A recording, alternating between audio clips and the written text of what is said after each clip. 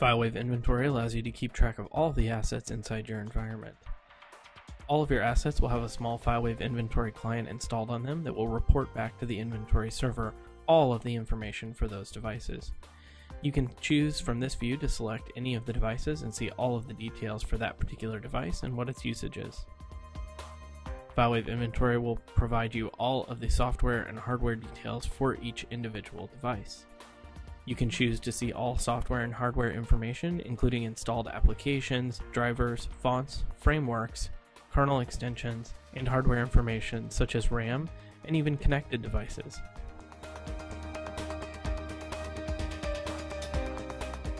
At FileWave, we realize that this is a lot of detail and allow you to build clear and concise reports based on any of the information that you choose to pull from your FileWave inventory database. Building a search based on software or hardware is easy. I'll walk you through a software search from start to finish. So we're simply going to create a new search here, and we're going to be looking for an application. In this case, I'm going to look to see how many of my Macs are still running Office 2008. So we're going to select Applications and click Next. There we're going to go ahead and name our search. And I'm simply going to specify that this is for OS 10 machines. Now we place our search criteria in for applications.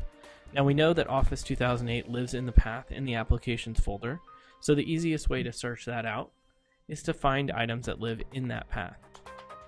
So in this particular case, we're simply going to search that our path contains the word Office and the year 2008. So we'll simply say and path contains 2008.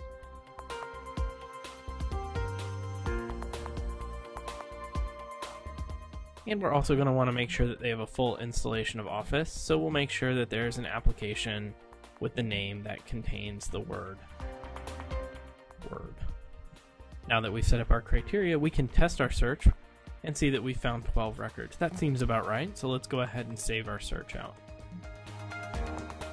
We can now see all of the devices that are checking in that have that match our criteria, and these are the devices that contain Word.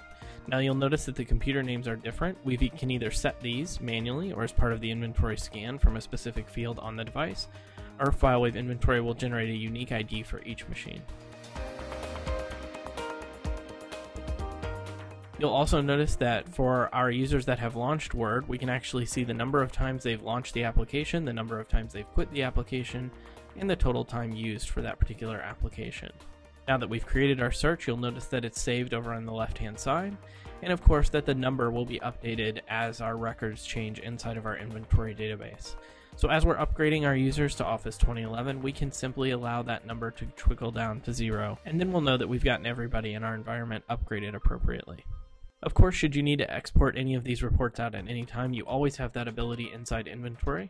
There's always an option to export that report out as an Excel spreadsheet or a CSV.